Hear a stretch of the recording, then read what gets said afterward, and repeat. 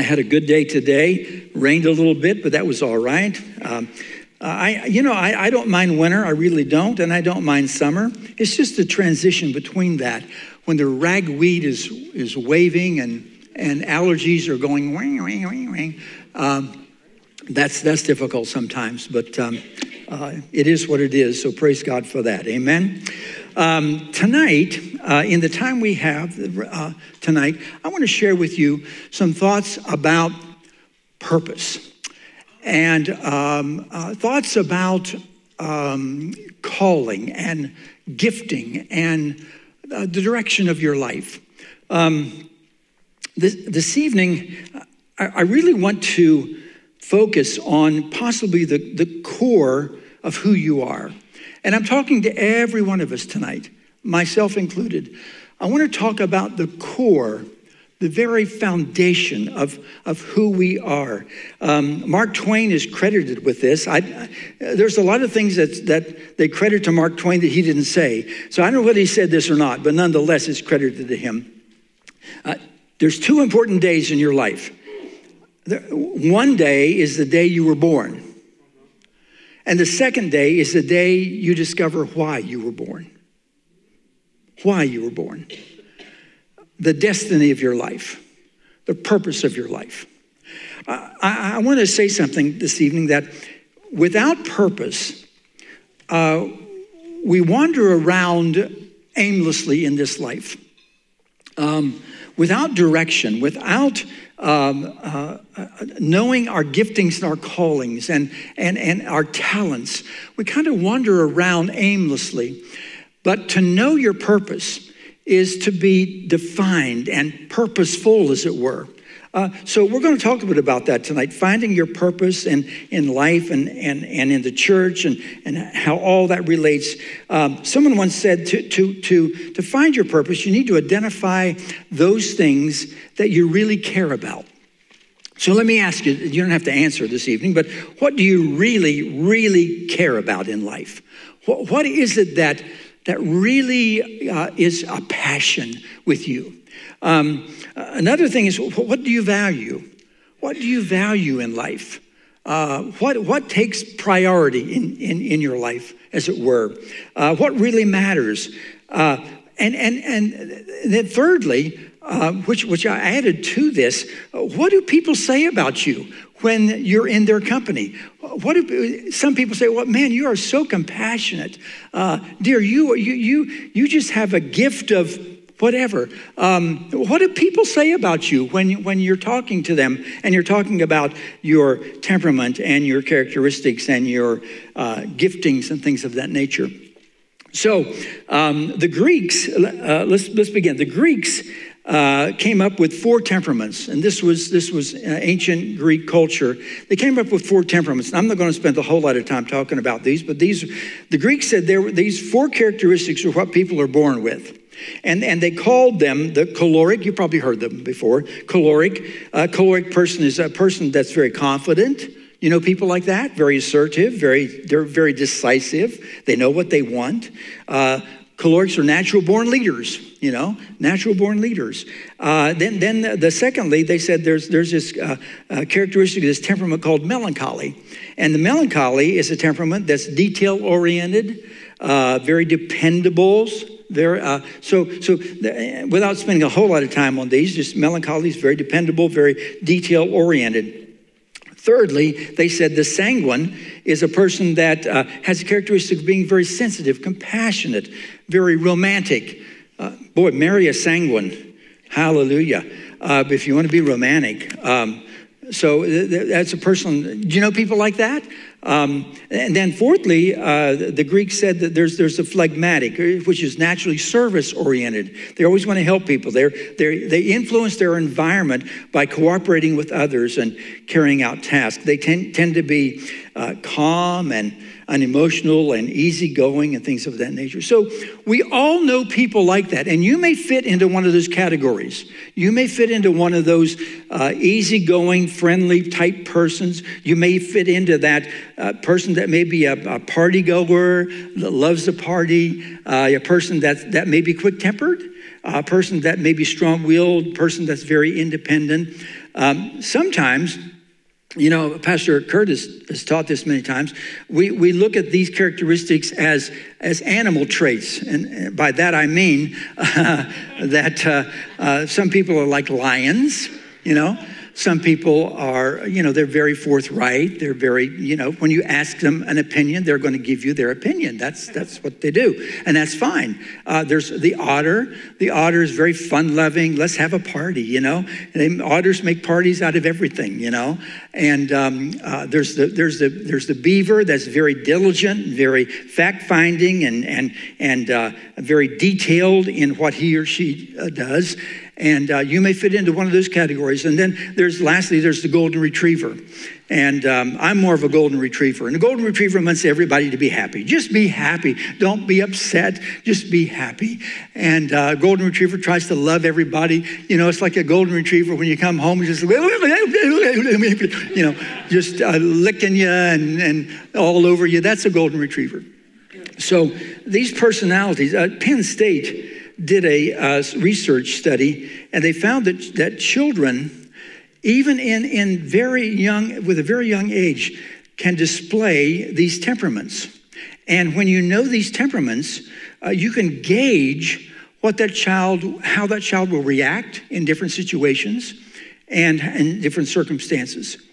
So every one of us, every human being, is born with with talents and abilities and personality traits eh, that just make us who we are. It's who we are. It's who we are. Um, growing up, I was very shy. Um, my, my dad, bless his heart, he, um, um, he said, maybe they, we ought to give him tap dancing lessons and maybe that'll bring him out of his shyness.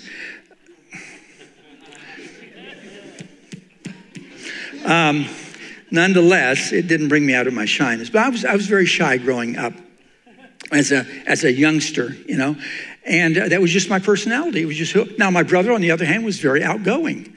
He was very outgoing and uh, still very outgoing. Um, and I've kind of overcome some of that. But all of us have different personality traits. That's what I'm trying to say. All of us do, and uh, which which which really uh, let me sidebar for just a second. Which which really makes me pro-life, and here's why I'm pro-life, because we, I'm pro-life because I think we are destroying poets and doctors and and and and leaders and writers and inventors. Uh, that's why I'm so pro life. That we are, we are, we are destroying people that ha- would have value, so much value in this world. Um, so, nonetheless, that's a little sidebar. But um, so, if we are all born with certain tendencies, I, I, think I gave you a scripture a couple weeks ago. Train up a child in the way he should go. And the way he should go really means according to his bent or according to the giftings that God has placed in him. And these giftings are from God. They're from God. And, he, and God has placed these within us. He created me to be who I am, He created you to be who you are. Uh, you know, a lot of times when you're growing up as, as teenagers, you wonder, what am I? Who, who am I? What am I supposed to do? I don't know who I am. God created you to be someone special. And uh, not only that, but, but if you're born again, are you born again this evening? Do you know Jesus Christ, your personal Savior? If you're born again, God has also placed gifts and talents within you when you were born again. So not only do you have gifts, abilities, talents when you at birth, but you have gifts abilities and talents at the new birth. At the new birth. I counted 21, and there are probably a lot more, but I counted 21 giftings that God has for us as born again believers. And um, uh, well, let me give you a scripture. Uh, 1 Corinthians chapter 12, verse 7 in the New Living Translation, a spiritual gift is given to each of us so we can help each other. Isn't that significant? A gift was given by God to us for this reason so I could help you, Cindy. So I could help you. So I could help you, Paula. So I could help you, Courtney. So I could help you. A spiritual gift was given to us so that we could help each other. Let me give you another scripture. 1 Corinthians chapter 12 verse 27. Now you collectively are the body of Christ. We are the body of Christ and individually you are members of it. Each with his own, listen to this, special purpose and function. Each of us. Now, now you might say to that, well, uh, Sheldon, that um, that's okay for you. Uh, that's okay for Pastor Nathan. That's okay for uh, you know someone who uh, you know is active in the church. But I don't know. I don't know if God gave me anything. And I'm here to tell you tonight that He did. He did. He placed within you a special gifting and talent. You know, uh, Pastor Nathan uh, several weeks ago taught three or three, three four weeks, three weeks maybe, on stewarding your gift, stewarding your talent, and how valuable that was to make sure that you use what God has given you. And God has given you so much. Um, some of the um, uh, giftings that we have, and I just, I just listed a couple of them. I'm not going to focus too much attention on, on some of them, but, but we, we will highlight uh, uh, later on in this teaching some things. But in 1 Corinthians chapter 12, there are nine spiritual gifts. They're called the charisma nine spiritual gifts, and you probably are aware, uh, aware and and and uh, you understand them. But but let me just let me just highlight them for a moment. Um, there's a gift of wisdom, word of wisdom, word of knowledge. There's faith. There's healings, miracles, prophecy, discernment, tongues, and interpretation of tongues. So there's nine gifts of the Spirit. Now, I personally believe that these nine gifts of the Spirit are available to you anytime you need them. Here's what I mean by that there may be times when you will need a word of knowledge, and you have it. There'll be times when you need a word of wisdom, and you have it. There'll be times when you're at Walmart. I know none of you go to Walmart, but, but we do. Not in Greensburg because it's too crowded, but not, yeah, yeah really. Uh, but you go to Walmart, there's, there's a lady behind you. She's hurting. She, she says, Oh, my back hurts so bad.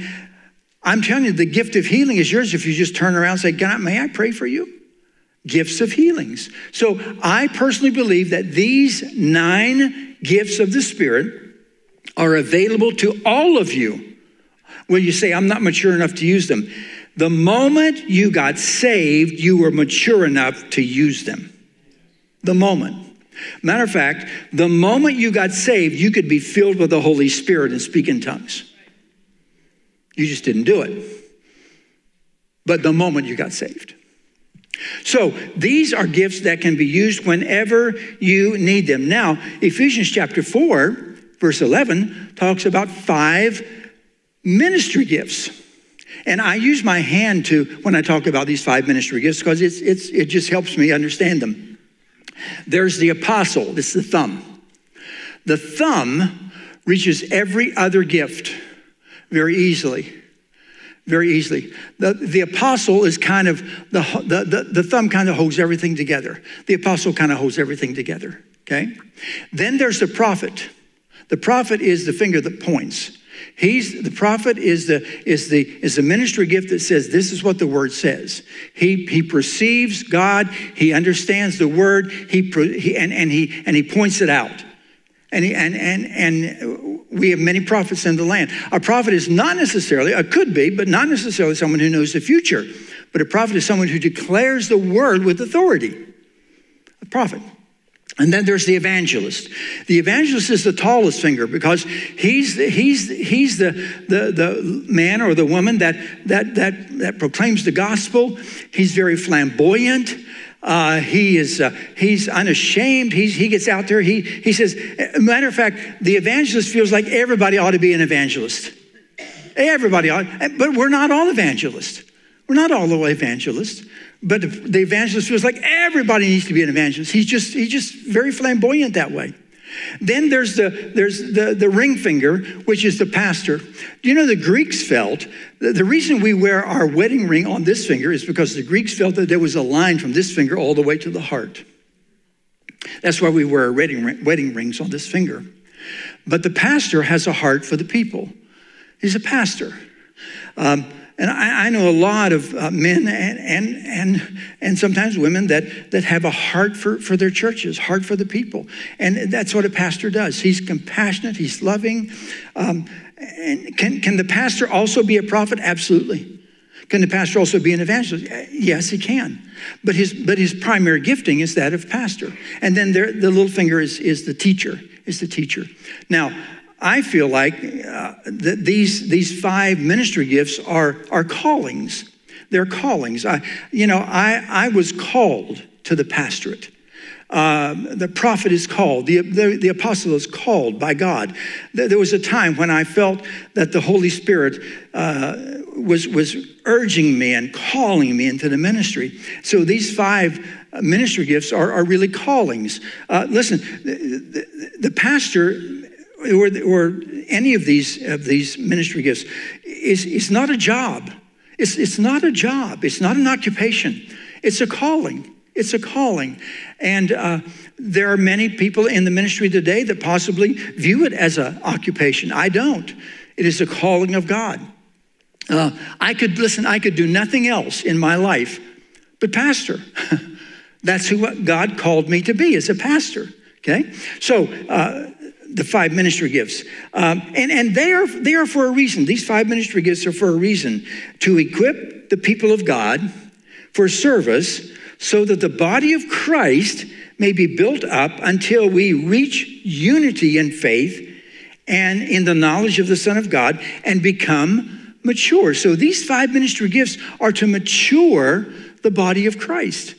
That is our job. That's what we're called to do. Now, moving along, there are motivational gifts. Um, the, the body of Christ is to function in a biblical manner. It's essential that the members of his body understand their function in the body and give themselves to perform that function. I say that in light of, of these motivational gifts uh, that I'm going to talk about. Um, let, let me give you another scripture Romans chapter 12, verses 4 and 5 from the Passion Bible. In the human body, there are many parts and organs, each with a unique function. And so it is with the body of Christ. For though we are many, we're all mingled into one body in Christ. This means that all we are all vitally joined to one another with each contributing to the other. So here's what that means. I need you and you need me. I want you to look at the person sitting right beside you. Look at them. If they're not, if there's no one sitting beside you, look back or look in the front. You need that person.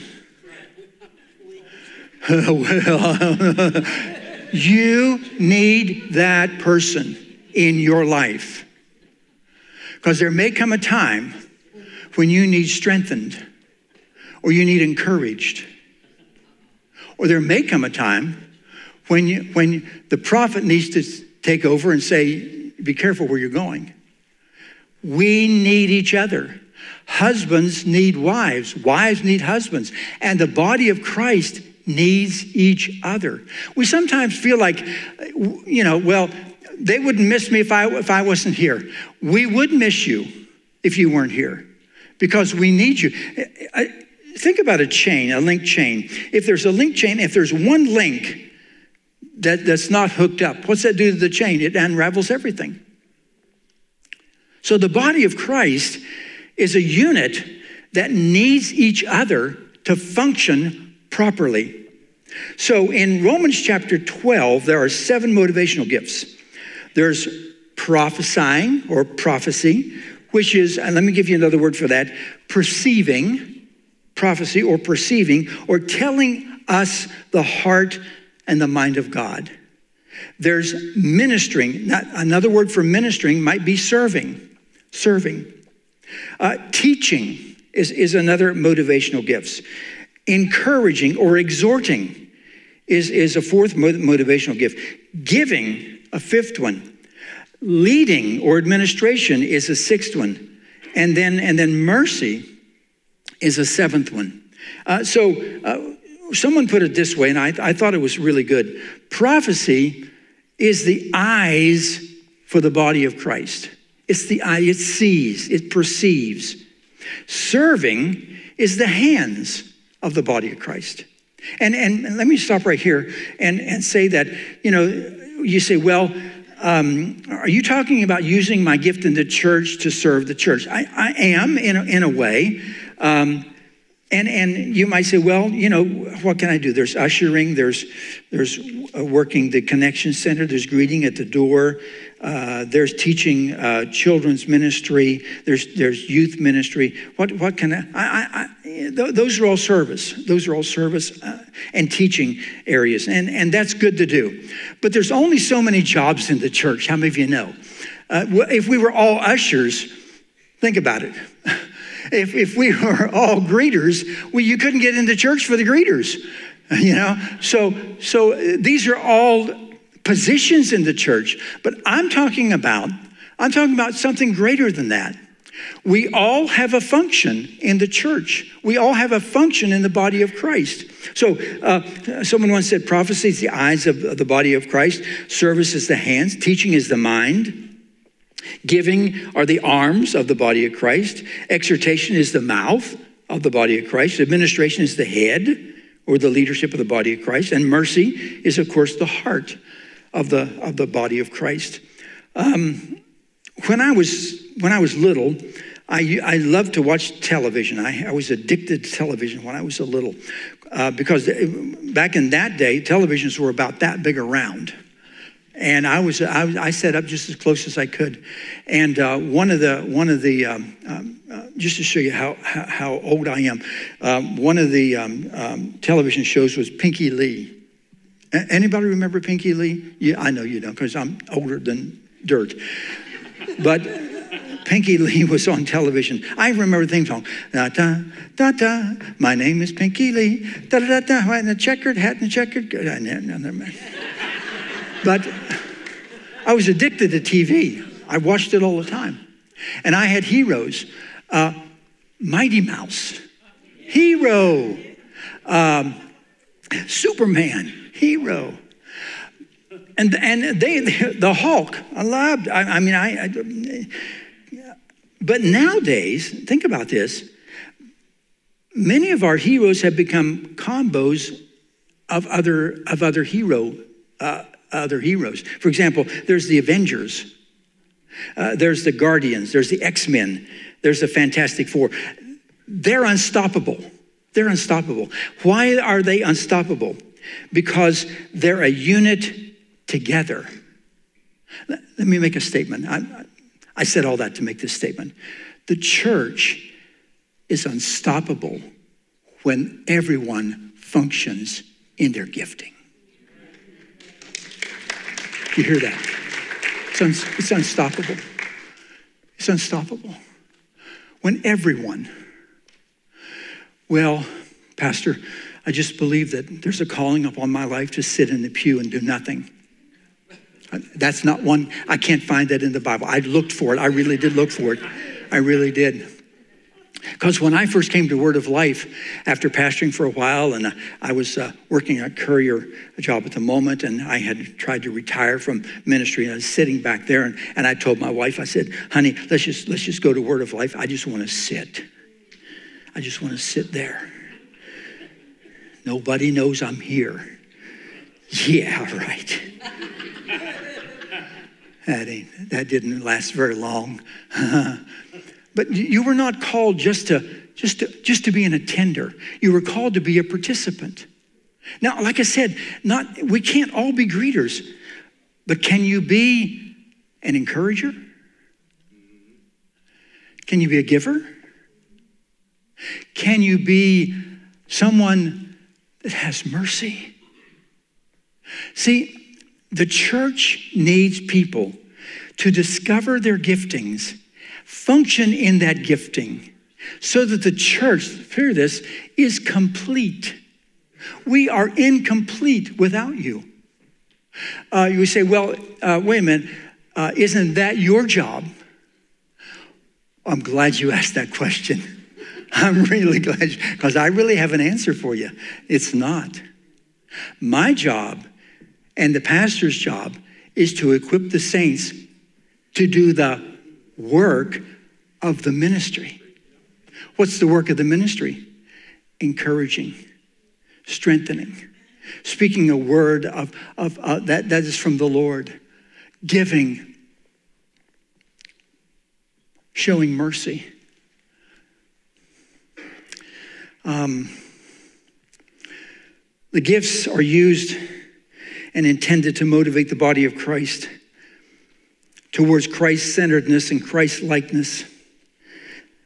When, we, when these gifts are unused, when these gifts are not being used, when, when, they're being, when they're being neglected, as it were, the church suffers. The church suffers. We actually do the body a disservice when we don't function or operate in the giftings that God's given us. We, do, we actually do the church a disservice when we're not using and neglecting the gifts that God's given us. Um, let me give an example. Um, let's say seven friends got together. Each of them had different gifts um, of the motivational gifts I've mentioned. They got, to get, they got together at a small dinner party. When they'd eaten dinner, the hostess was bringing out the dessert on a tray. And lo and behold, the tray tipped, the dessert, the dessert spilled, some went on the table, some went on the floor. Oh, what a mess, what a mess. The prophet would say, That's what happens when you're not careful. Because he's going to tell you the truth. The, the, the server would say, oh, oh, oh, let me help you with that. The teacher would say, Now, the reason that fell is it was too heavy on one side and you needed to balance it. That's the teacher.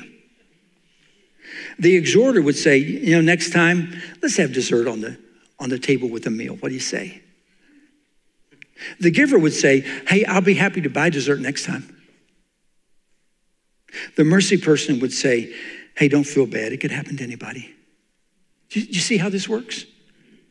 Now, you, you may be thinking, hmm, I know people with some of those gifts. I, I know, I know people that have uh, uh, teaching, uh, uh gifting. Um, you know, thank God for our school teachers that love the Lord and are teaching our kids uh, uh, the right way and the, and the right things. Thank God. They're, they, are, they are gifted in that. They're just gifted. Um, you know, so, I'm running out of time here, but nonetheless, I'll tell you anyway. Pastor Kurt and I go out to lunch a lot because we love each other and because we love to eat. And, um, well, I should say he loves to eat. I just go with him. But um, we got to lunch. But inevitably, inevitably, now Pastor Kurt was a teacher for how many years, Pastor Kurt? 30, 33 to 35 years. He was a teacher. Inevitably, inevitably, when we go out to lunch or something, someone will come up to him and say, Mr. Mr. Detter, Mr. Detter, do you remember me? I was one of your students.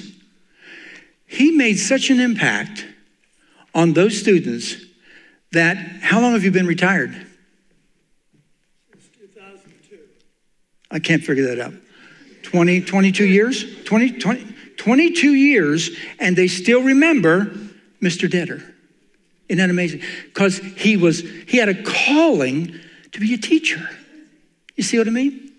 So, um, uh, the, the, those giftings, those, those callings, uh, they're, they're, they're, they're, they're wonderful. 1 Corinthians chapter 12, uh, just a, a, couple of verse, verse 12, and then I'm going to jump to verse 21 and then to verse 25. Just as the human body is one, though it has many parts that together form one body, so too is Christ.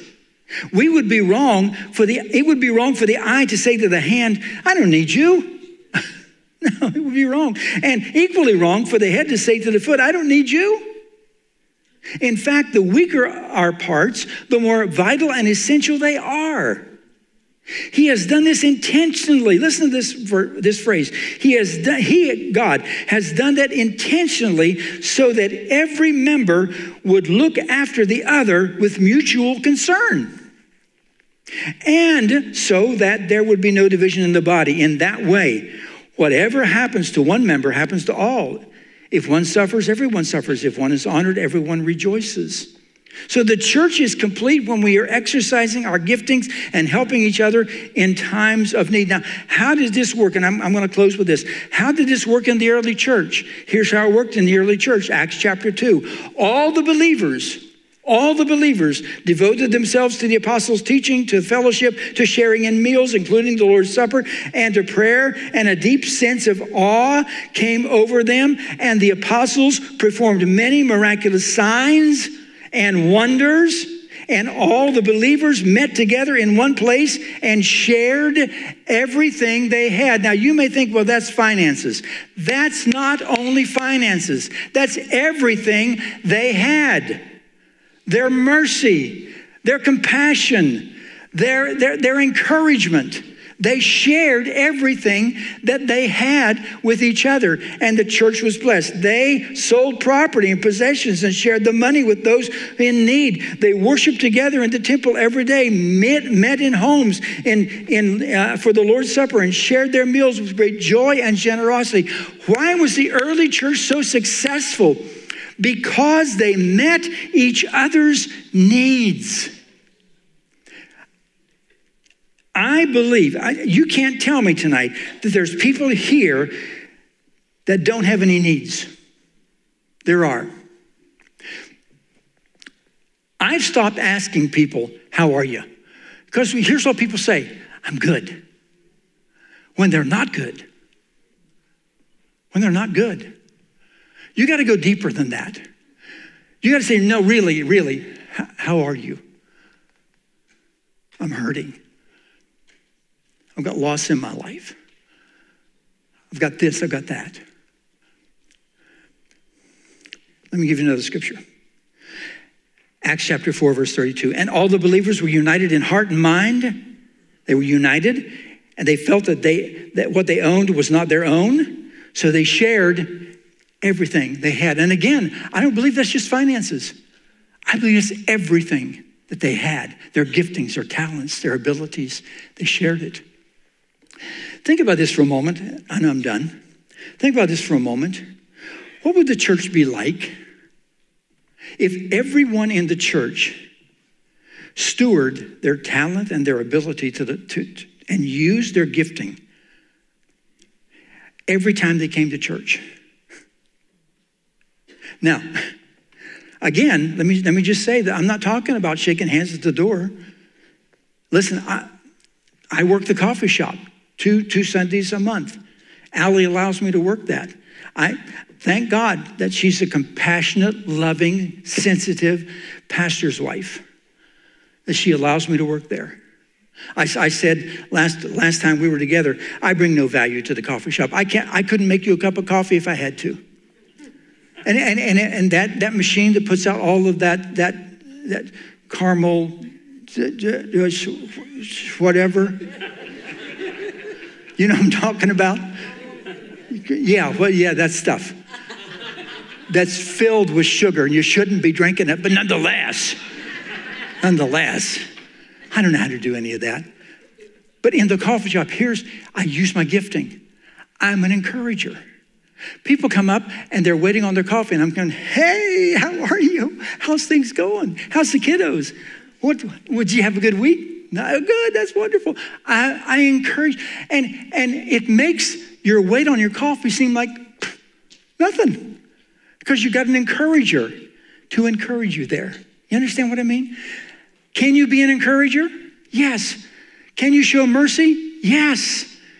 Can you, can you be a prophet? Yes. I've had people come up to me and, and, and, and, and, and, and say, this, this, this is what the word means. This is what, this, this is the word. This is, this is what God's, this is what God's doing. And it is. It's powerful. Uh, First Peter, let me close with this. How many closings did I do? I'm done. First Peter, chapter 4, verse 10. This I saved this to last.